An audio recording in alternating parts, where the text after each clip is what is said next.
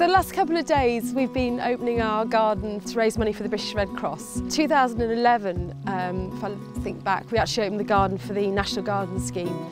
So from then on, we've always actually opened the garden every year to, uh, for charity events. Um, so it's just something we've always done.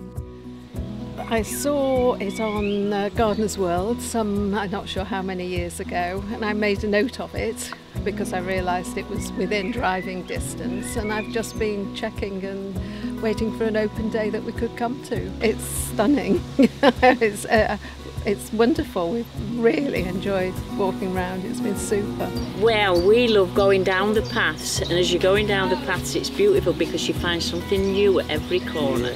I loved it. Yeah, it's very, very pretty. It's interesting to see which things the bees like best. It's a very naturalistic, wild place, and I think it's quite important for people to see that you can have a garden that isn't necessarily um, manicured, and it also allows you to, to sort of let nature in and um, to be able to share that with people is, is really really lovely. I just think the setting for the pool and the surrounding area is absolutely beautiful. And it changes every every time you come. There's improvements um, more things to see. I just think it's wonderful and the pool area for me is another reason for coming, just to see it, just to see all the beautiful water lilies and everything.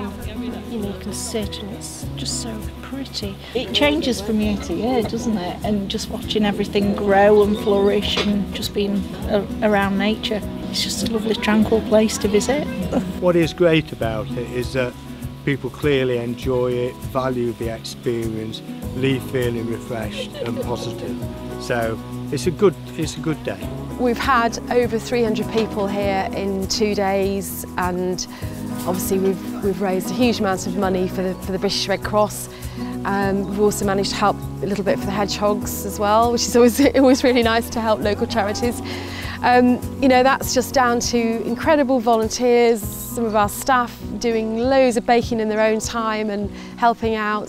So yeah, it's been, I think it's been a lovely day um, in general because everyone's enjoyed themselves, lovely visitors who enjoy being in a garden and enjoy wildlife and we are exhausted but it's definitely been worthwhile, yeah. We'll do it again.